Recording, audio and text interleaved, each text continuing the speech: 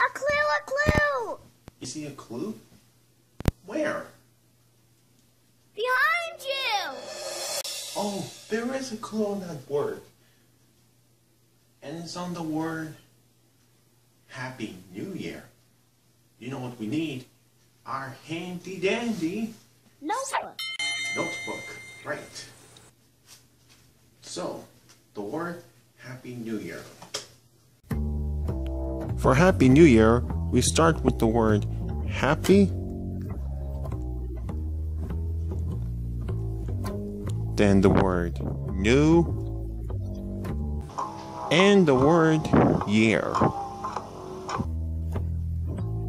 There, we have Happy New Year.